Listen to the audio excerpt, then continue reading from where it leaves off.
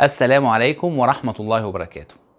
قال اليهود للنبي صلى الله عليه وسلم بعد أن سألوه عن أشياء أجابهم عنها: صدقت إنما بقيت واحدة وهي التي نبايعك عليها إن أخبرتنا بها.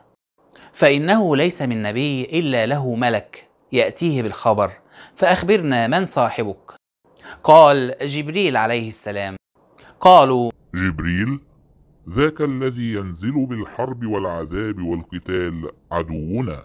لو قلت ميكائيل الذي ينزل بالرحمة والنبات والقطر لكان.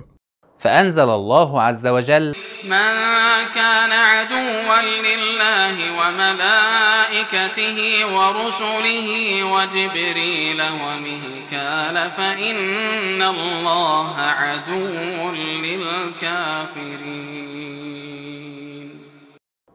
زعم اليهود أن جبريل عدوهم وأن ميكائيل وليهم رغم علمهم أنهما من الملائكة المقربين لا يعصون الله ما أمرهم ويفعلون ما يؤمرون. فمن عاد الله وملائكته ورسله من الملائكة أو البشر وبخاصة الملكان جبريل وميكال. لأن اليهود زعموا أن جبريل عدوهم وأن ميكائيل وليهم. فأعلمهم الله أن من عاد واحدا منهما فقد عاد الآخر وعاد الله عز وجل. فإن الله عدو للكافرين والجاحدين. ليه في الآية الكريمة جاء ذكر جبريل وميكال بعد الملائكة.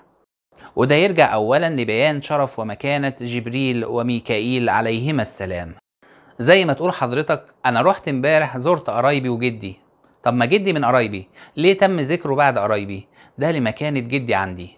والسبب الأهم معروف إن اليهود قوم بهت فكان لازم نسد الباب قدامهم. فعلى فرض إن الآية الكريمة لم يذكر فيها جبريل وميكائيل ماذا سيقول اليهود؟ نحن لم نعادي الملائكة بل عادينا جبريل فكان لابد من سد الباب أمام اليهود. وهتلاقي حضرتك قراءات مختلفة لجبريل وميكائيل.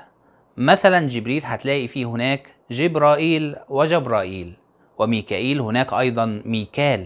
وفي الآية الكريمة لماذا صرح الله عز وجل باسمه مرة أخرى فقال فإن الله عدو للكافرين وكان من الممكن أن تكون فإنه عدو للكافرين. وده يرجع برضه لأن اليهود قوم بهت. كانوا هيقولوا أن الضمير ده عائد على جبريل عليه السلام وليس على الله عز وجل. وفي هذه الآية الكريمة انتصار لجبريل عليه السلام. فمن عاد جبريل عليه السلام فقد عاد ميكائيل عليه السلام. ومن عادهما فقد عاد الله عز وجل. فالله عز وجل وجميع الملائكة وجميع الأنبياء وحدة واحدة لا تتجزأ. فمن عاد ملكا واحدا فقد عاد الجميع. ومن عاد رسولا واحدا فقد عاد الجميع وأصابه الكفر. قال الله عز وجل آمن الرسول بما أنزل إليه من ربه والمؤمنون. كل آمن بالله وملائكته وكتبه ورسله. لا نفرق بين أحد من رسله. وقالوا سمعنا وأطعنا. غفرانك ربنا وإليك المصير. ولأن اليهود قوم ماديون فقد والوا ميكائيل القائم بأمور الحياة المعيشية. وعادوا جبريل عليه السلام القائم بأمور الحياة الإيمانية. ألم يكن جبريل عليه السلام وليا لموسى عليه السلام وبني إسرائيل؟ وذاك لما خرجوا من مصر ألم يكن يمتطي فرس ورآه السامري؟ ألم يكن وليا لموسى عليه السلام في يوم الزينة لما ذهب إلى فرعون في القصر وآمن به السحرة وسجدوا لرب العالمين؟ ألم يبشر المؤمنين بالجنة؟ فعداوة اليهود لجبريل عليه السلام أمين الوحي بكل تأكيد هي عداوة لله عز وجل. وبكل تأكيد عداوة اليهود للرسول الكريم محمد صلى الله عليه وسلم خاتم الأنبياء والمرسلين هي عداوة لله عز وجل قولا واحدا. وإذا كان اليهود عادوا جبريل فإن النصارى قد عبدوه. فجبريل عليه السلام ما بين تفريط وتقريط.